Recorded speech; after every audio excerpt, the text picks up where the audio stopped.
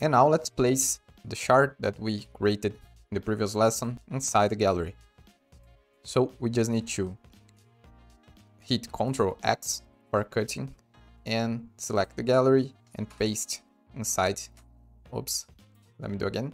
Select template and paste inside of it. Alright, now we have the chart repeating for each element in our collection. Great. And let's understand how we can change this percentage value. And the percentage value is going to be um, the amount of the expense divided by the total of the expense for that budget. Okay. What we need to do is to change uh, the value right here. So 80 is the value that's going uh, that's is being used right now. So if we change here for 70, we can see that this change So we need to make this uh, dynamic responding to each element of our gallery. Nice. So what is the math that we need to do in order to achieve that?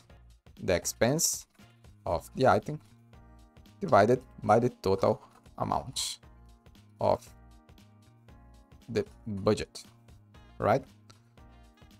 All right, how we get the expense of the item? This one is easy. If we insert the text in a label, we can already see the expense. So let me type here expense. So this is a number that we want to get, the expense. And now we need to get the total amount for it. So it would be 300 plus 500 plus 1000 and so on and so forth. How we can get that? we need to leverage the formula sum with this filter.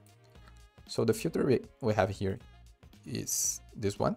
Remember, we're filtering by the selected budget, right? So I'm going to copy that. And I'm going back to our formula. And now let's use these two elements right here. And we're going to leverage another formula called with. If you've never uh, seen the with formula, it allows us to store a piece of information and use back in our code when needed, right? So we're going to understand what I mean. Uh, with, we need to, the, the first argument is record, right? So what is the, the record that we want to create? The, the field actually uh, is the percentage, let's call this way, percentage and now the math. What is the math? Is this item dot category expense divided by. And now we're going to leverage the sum formula. Sum, and what we're going to sum is this collection, this filter collection. And what we're going to sum is the expense field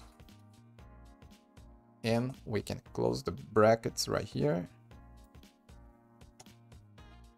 add a comma and let's close right here at the end. Great. And now we can use this percentage definition that we have here inside the data. Right? So remember uh, this piece of code is text. So we need to do like this.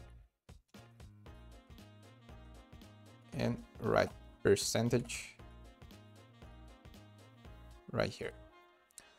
And, and we're missing something. We need to make it here, times 100. And looks like we are doing right, all right? We have 16%, 26%, and looks to me that the total is 100%. So this is the formula that we need to uh, set